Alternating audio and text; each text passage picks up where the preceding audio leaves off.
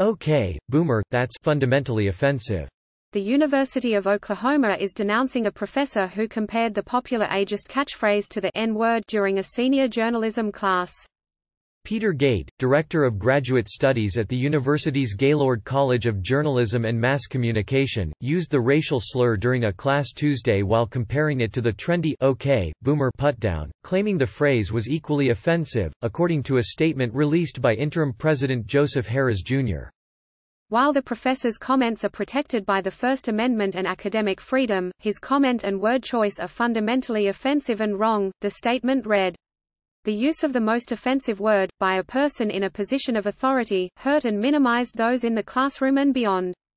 Gade made the comparison during a discussion about technology and social media as it pertains to journalism, suggesting to students that reporters should focus more on traditional aspects of the profession, according to the university's newspaper, the OU Daily. That prompted a student in the class to say that journalists need to keep up with the times and younger readers. Gade then said the student's remark was akin to saying, okay, boomer. Multiple students in the class told the newspaper.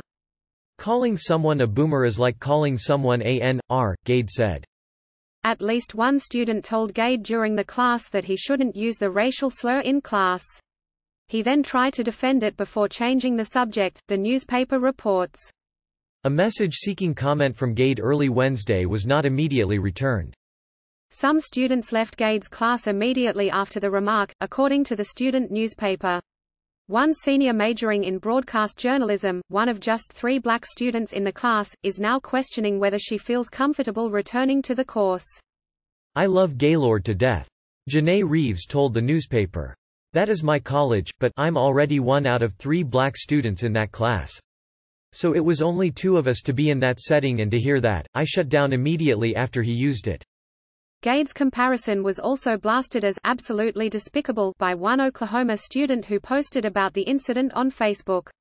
Several others also suggested that the university fire the longtime professor immediately. That's completely unacceptable, one woman wrote.